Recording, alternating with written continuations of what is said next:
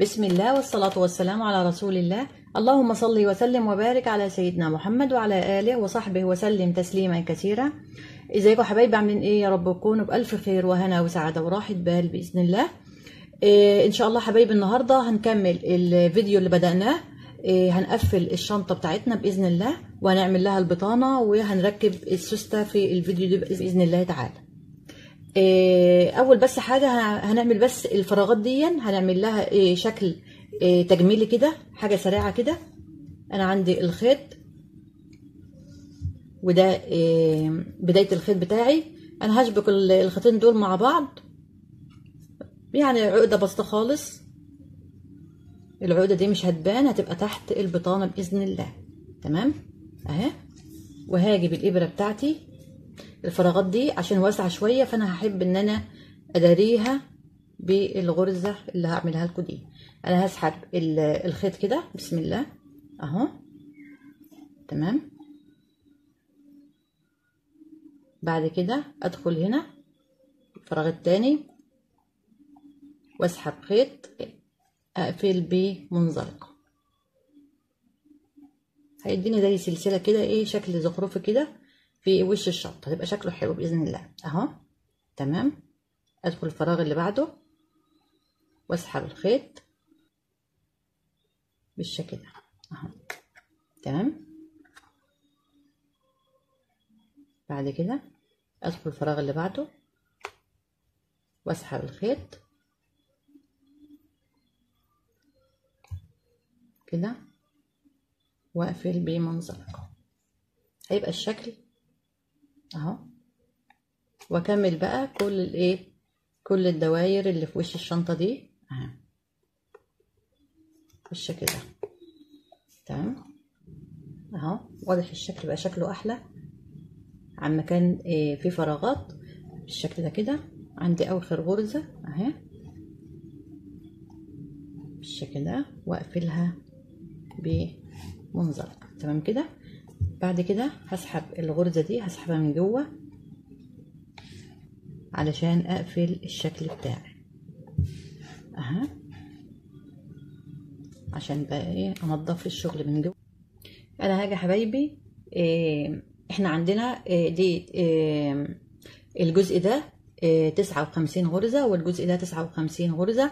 فأنا هقفل إيه نص الغرز يعني هقفل حوالي تلاتين غرزة تمام؟ فأنا حددت هنا بداية الغرز اللي هقفلها ودي النهايه بتاعت الغرز تمام؟ علشان ما نتلخبطش مع بعض. وأنا دخلت هنا الخيط تمام كده؟ وهبتدي أقفل الجزئين مع بعض.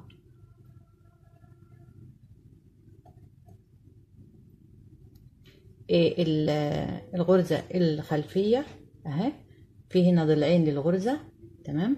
هاخد الجزء الخلفي للغرزة. تمام كده؟ وهنا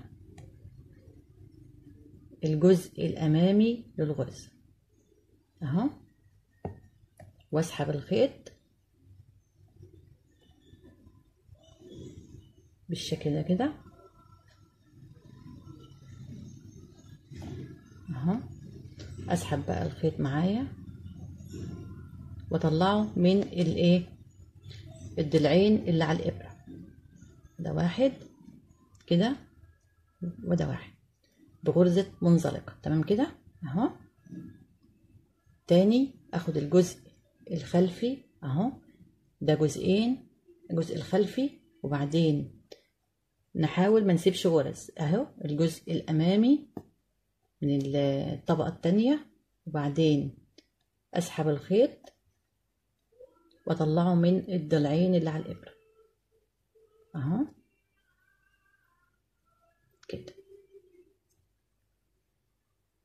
تمام كده؟ أهو. بالشكل ده. تاني.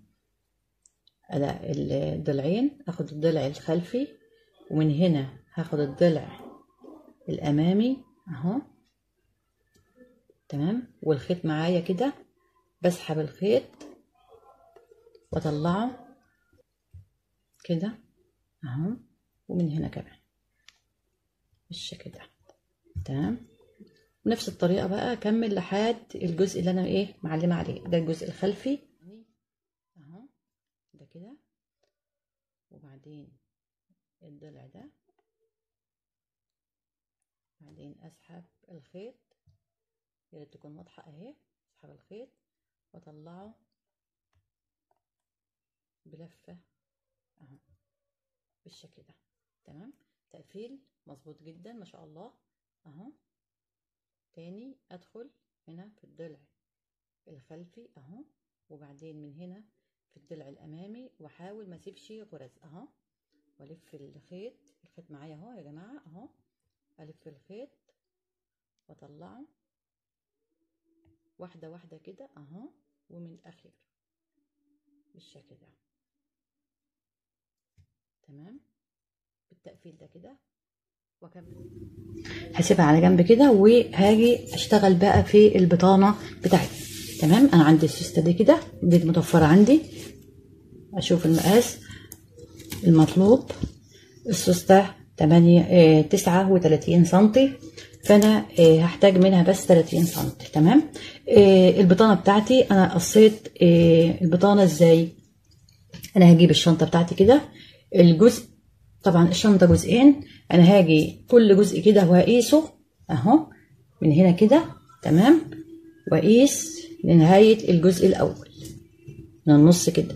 هلاقيه حوالي هلاقيه 22 سم نفس الطريقة الجزء الثاني برضو 22 سم فأنا هعمل البطانة طبعا من جزئين دوران كل جزء 22 سم القطر بتاعه 22 سم هقيس كده هقص الأول مربع 22 في 22 وبعد كده أدوره هلاقيه برضو 22 إن شاء الله. تمام؟ بالشكل ده كده. أنا طبعا عاملاه قصاه علشان وقت حضراتكم ما يبقاش الفيديو ما يبقاش طويل. خلاص كده؟ أنا عملت دايرتين كل دايرة 22 على قد حجم الشنطة. تمام كده؟ هاجي بقى اركب السوسته إزاي في الشكل ده. القماش ده ده قماش من شنط القماش. تمام؟ استفدت منه. لو حابة تعملي ب أي قماش عندك يكون لونه مناسب للون الشنطة فأنا لقيت اللون ده مناسب فأنا هعمله تمام كده؟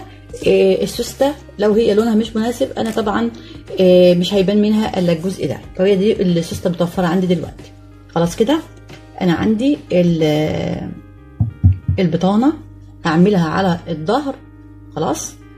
هي فيها كتابة ما هياش مشكلة خالص. أنا هاجي هنا كده وهجيب بالدبابيس معايا. السوسته بالشكل ده. وبعد كده أخيطها. أهو. أنا كده بس عشان أحدد الإيه؟ المقاس المطلوب. أنا طبعا الزيادة عندي أنا هشيلها.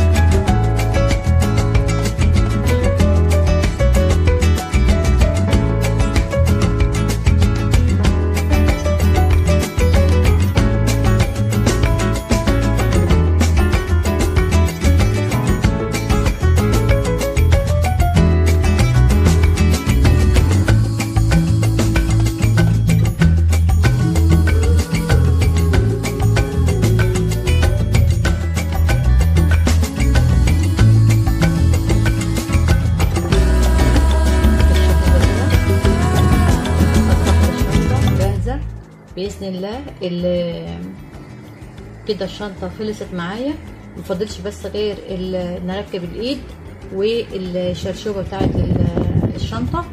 تمام؟